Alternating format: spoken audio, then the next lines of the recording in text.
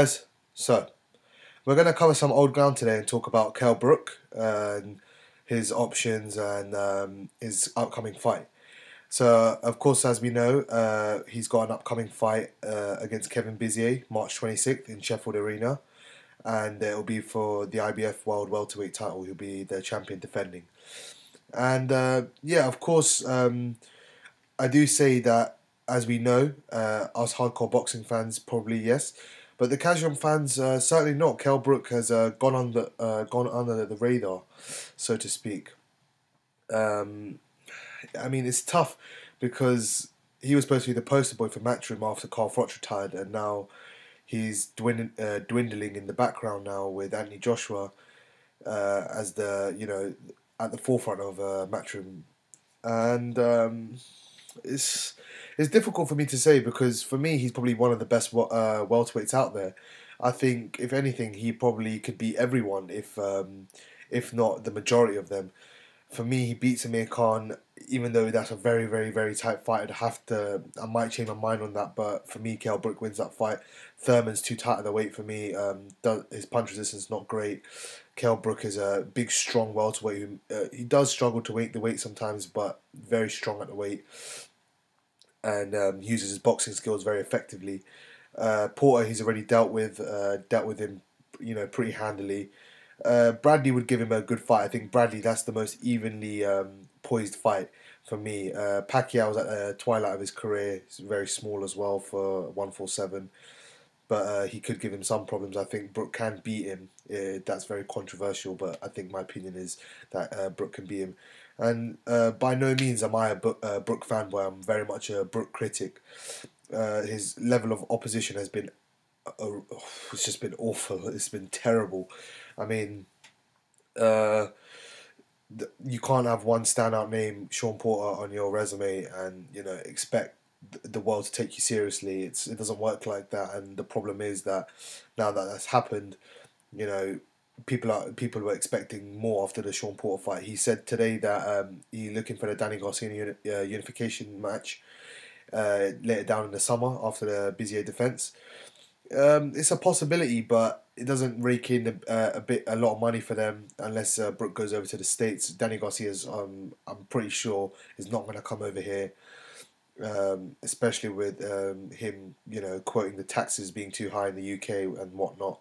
So you know, it's better for Brook to go over to the US. Uh, he'll get a bit more money there, but nothing major. Uh, Khan's still his biggest payday, but you know, it, it's hard to see where he goes. He really is, you know, he really has a lack of options, and the options that are possibly there, they're not um, very attractive or they're not very viable. So um, for for this, the Bizier defense, I think he knocks him out within five rounds. Uh, Bizier, you know, he is just pretty ABC standard guy. Um, I did see his fight against uh, Frederick Lawson on PBC. Uh, he actually he actually fought really really well. I, I give him that. But um, Frederick Lawson was a prospect at best who didn't beat anyone, and he had no um, experience at that sort of level. I know Bizier uh, has lost to Jojo Dan, but Jojo Dan's been in a world title fight, so that um, even that experience is above Frederick Lawson's experience. But I digress. Um, you know, he's just pretty ABC uh, Bizier and you know does the basics. Um, I'd expect Brook, you know, doing what he did, do a demolition job. Uh, Frankie Gavin and um, Jojo Dan, of course, they're not glamorous opponents, but Bizier is the same sort of level as, uh, as those two, and um, see if you can uh, knock him out. As, as to where he goes from here, as I said, Danny Garcia unification has been talking about today. Uh, Keith Thurman, Shawn Porter winner, possibly. They're fighting uh, June twenty fifth, I think. Uh, so that's a possible option as well. Um, you never know. Amir Khan comes back down to one four seven after um, the fight against Canelo. However it goes, uh, he could that could be another potential matchup. But it's very very very tough. Tim Tim Bradley Pacquiao winner as well.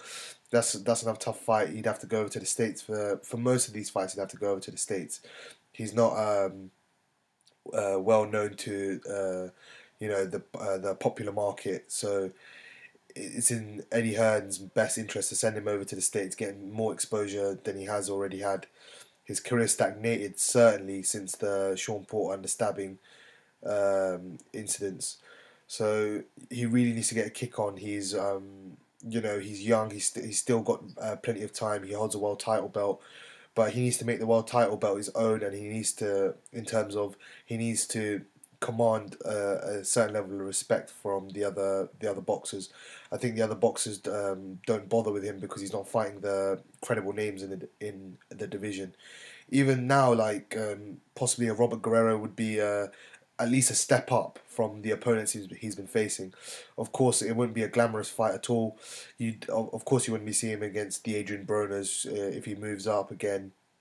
Uh, the Keith Thurmans uh, Errol Spencers, those sort of guys. You want to see, uh, you know, the the top top elite uh, one four seven fights go at it. But if you can't get anyone, then you know you you have to kind of peg it down a level, but not to the Kevin Bizier level. I understand he's a mandatory, but you know it, it is too low and it's short cheating us fans.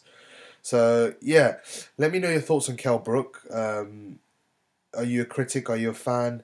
Uh, what do you think on um, what do you think about this fight? Um, how long do you think it'll last? Um, anything else you want to talk about in regards to Kell Brook and uh, his potential future opponents as well?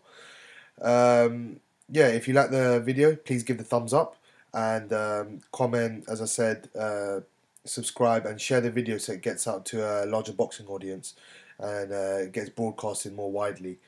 And yeah, take care, guys, and yeah, peace.